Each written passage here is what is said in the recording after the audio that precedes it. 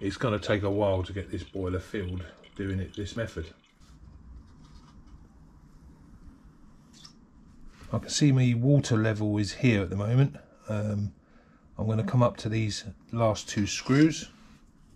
Now the reason I made this tube that long is now once um, I'm finished with the uh, for the, the motoring for the day I can put that tube in that actually touches the bottom of the boiler and then I can suck out any of the um, any water that's left in there.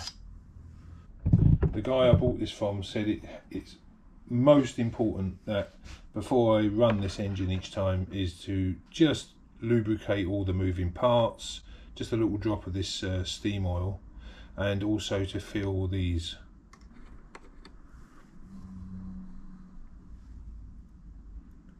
There's already some in there.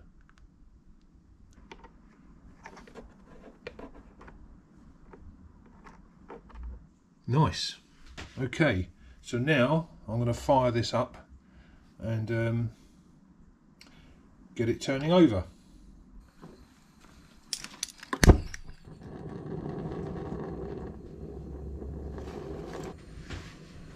It's all nicely um, lubricated.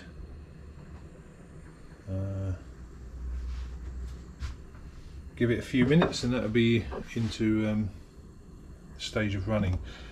give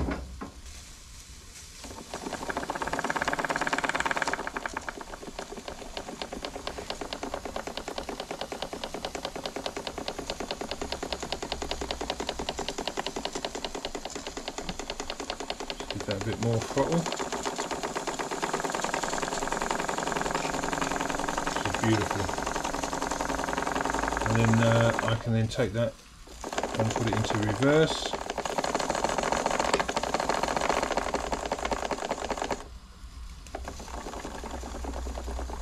But um, yeah, that's it.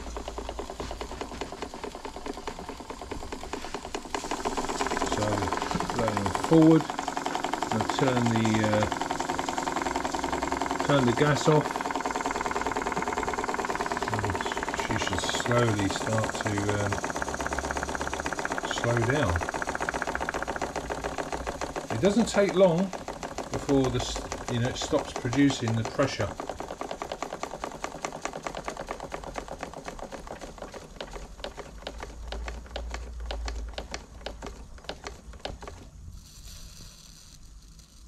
It's wonderful.